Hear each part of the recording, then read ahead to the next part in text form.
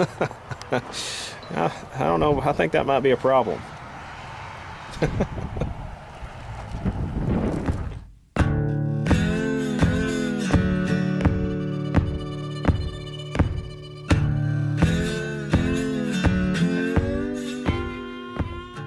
Hey, good morning everyone. Welcome back to the channel. Thanks for tuning in. Uh, it's Tuesday morning and it is it's a little chilly out. I've got my long johns on.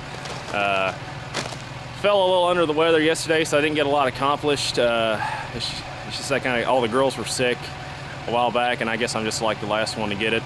But uh, I'm gonna try to press through the sickness and, and get some stuff done today. Uh, what I got in store for today is that uh, I have a John Deere corn head that I'm going to be taking to an auction, uh, which is this weekend, but we have to have it over there uh, by today or tomorrow so they can get it staged and, and ready for the auction. Uh, I've tried to sell it unsuccessfully on buy, sell, trade and stuff, so we're just going to take the auction and see what it brings. It's not an absolute auction or anything like that, so uh, I can always bring it home, I guess, if it doesn't bring the, the money I want it to. So if you've never seen a corn head or don't know how one works, once I get over to Brent's and we get it hooked up to the truck, then uh, I'll kind of walk, give you a walk around of it and, and show you what it does. So, see you in a bit.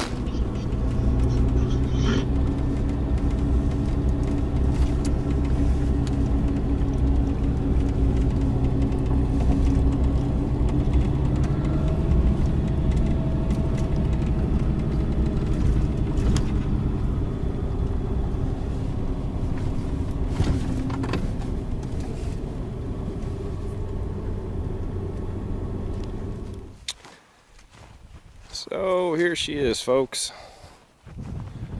This is John Deere 643 Cornhead.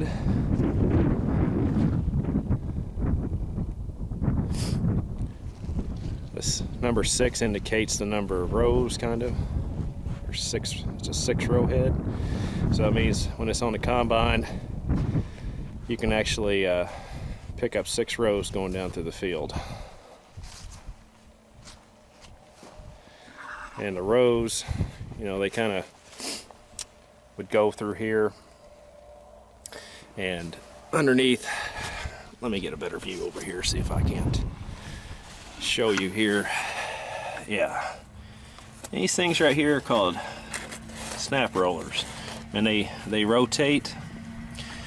So when they're rotating and the stalk goes through here it kind of strips the stalk down and the ear of corn falls um, down here to the gathering chains which conveys they also turn and conveys the ears of corn up here to the auger which augers it down to the throat of the combine. And that big open area is where the combine hooks up.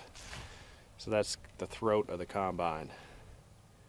And once it gets there the feeder chain on the combine takes the ears of corn up into the combine for the threshing process. So that's kind of how it works in a nutshell. I'll kind of open one of these bad boys up. Give you a look on the inside. But it's pretty good shape. Hopefully, hopefully it'll go to a new home this weekend and somebody else can get some good use out of it. This is what turns everything on the head. This is the old style uh, chain drives. But there's also some similar uh, sprockets on the combine that that actually, uh, this will actually pull out. Well, this one won't because it's already out. But the one on the combine will meet up to this and you put a, put a, the one on the combine will meet up to this. You put a chain around it and you put this uh, cover over it to keep the chain kind of from going off but that's uh, that's how she works. It's not real complicated but shelled a lot of corn with this old bad boy.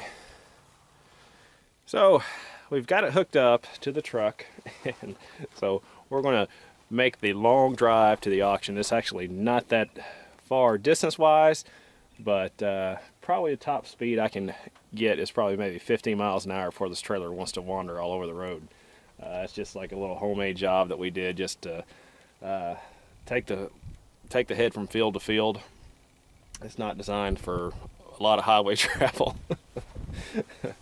so it'll, it'll, take us a while to get over there. And uh, you can probably see the little snowflakes. It's starting to snow yet again. So we're gonna hopefully get over there before the roads get bad. That's what time it is there. We'll see how long it takes us to drive over to this place. I'll keep an eye, I'll reset the mileage here too. see how long it takes us to travel at going 10 mile an hour.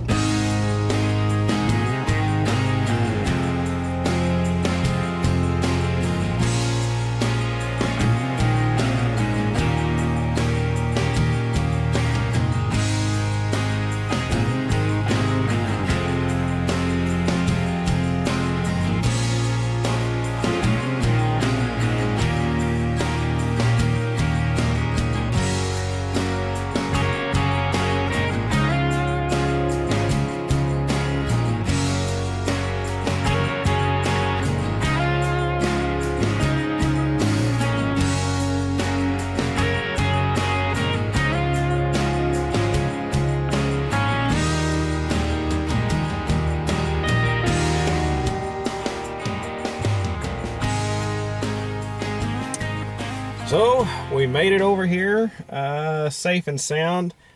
Took us about, oh, a little over an hour. It was only 17 miles here, but uh, just couldn't go very fast with that trailer. And we kind of avoided uh, potential catastrophe because as soon as I got here and went out and looked at the trailer, one of the tires went flat. Like from the time that I went in and, and registered the item to sell it, it uh, the tire went down. so I guess we'll get out and uh, look around a little bit and uh, see what they got uh, to sell here this weekend. Check out some farm equipment. Now look at this puppy. 2955 John Deere. About 97 horsepower from the factory. Looks like. I don't know the high-low shift. It's got the got some stuff off of it. There's the injection pump on this bad boy.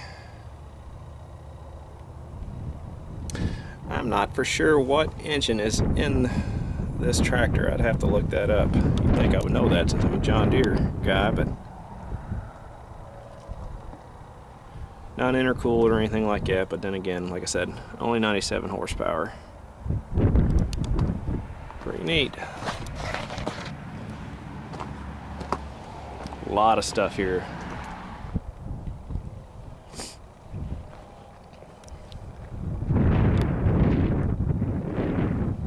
Ooh, little Massey, 231. These little puppies are about uh, 40 horsepower. Those people use them for like, you know, gardens and stuff. It's got a little Perkins engine in it.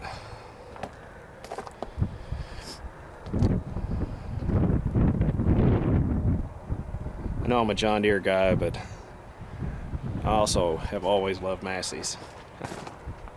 I love all tractors, I'm not gonna lie. It doesn't really matter the brand.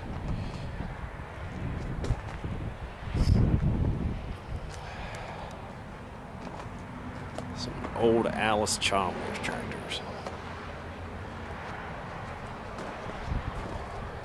I think he's going to need a new tire. Eh, it's only flat on one side.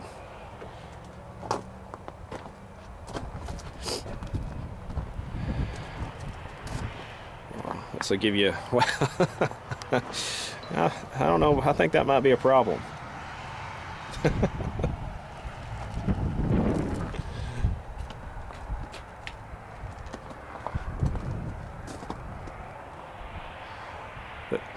Actually, the first tractor that I ever drove was an Allis Chalmers. It was a Allis Chalmers CA. I forgot. I think I was maybe 10 years old. Oh, actually, I don't even think I was that. I could barely reach the pedals. My dad kind of stood on the the back of the tractor there while I was driving it down the road. They let me drive it by myself. It's those kind of memories that those kind of memories that uh, always stick out with you. First time you drive a tractor, first time you drive a truck. Oh. Uh-oh. What we got here?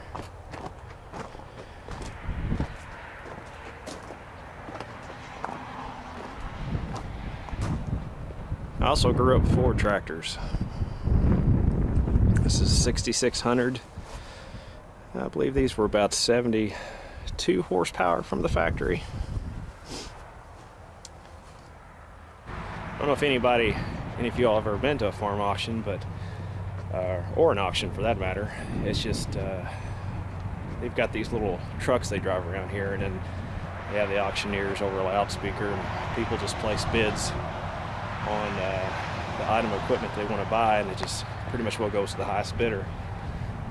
But uh, the sale is this Saturday, so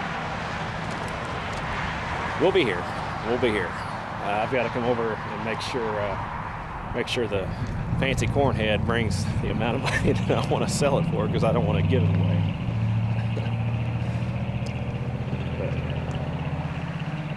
should be fun. Should be interesting. It's going to be cold. I know that. I'm not looking forward to that, but uh, always loved going to auctions. Uh, growing up, me and my dad used to go all the time. And nothing else. We just got to see what equipment brings. You know, that way you kind of got an idea of what something's worth if you come across a good deal or something like that.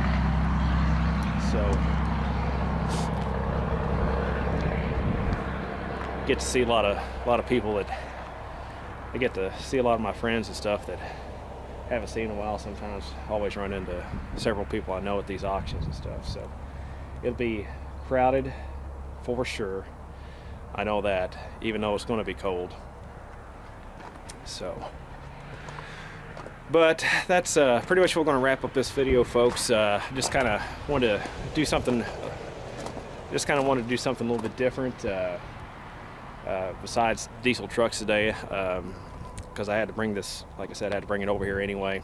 But what we do have coming up very soon is we have to go get the new truck. So we're going to be doing that. Uh, I've been ta talked to Brent. He's going to help me go get it. I'm going to borrow a trailer uh, from another friend of ours who has a winch, so that's going to help us get it on a trailer and get it home. So, but hope you guys are having a good week. Hope you guys are staying warm, and we'll see you next time. Have a good one.